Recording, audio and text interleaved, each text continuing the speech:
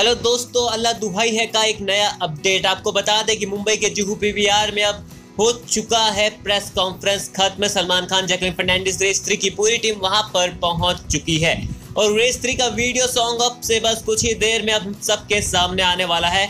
आपको एक बार फिर से बता दें कि यूट्यूब पे आने से पहले इस गाने को फेसबुक पे लाइव किया जाएगा। दोस्तों, ये अब तक की सबसे बड़ी खबर है। अगर आप यूट्यूब पर इसका इंतज़ार कर रहे हैं तो आप फेसबुक पर भी कर सकते हैं। आपको बता दें फेसबुक पर ये सबसे पहले लाइव किया जाएगा और वहाँ पर सबसे पहले रेस थ्री की पूरी टीम और जो मीडिया कास्ट है, वो इस गाने को थ्री में देखेगी और फिर ये यूट्यूब पे अपलोड किया जाएगा टू में। और थिएटर में अगर आप इसको थ्री में देखेंगे तो ये गाना और भी शानदार होने वाला है, क्योंकि इस गाने में सलमान खान ने खास इफ़ेक्ट डाले हैं। जी हाँ दोस्तों, सलमान खान ने अल्लाह दुहाई है के लिए खुद काफ़ी मेहनत की है। इसके अलावा जैकलिन फर्नांडिस डेजी शाह सभी बेहतरीन परफॉर्मेंस करती हुई नज़र आएँगी।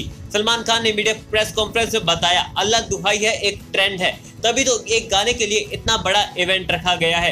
ये गाना कितना बड़ा बस बनाएगा, ये तो आप सभी जानते हैं। रेस थ्री का सुपर डुपर हिट गाना होगा, अल्लाह दुहाई है। हालाँकि ये भी कहा जा रहा है कि आतिफ की आवाज़ में गाना कहाँ है।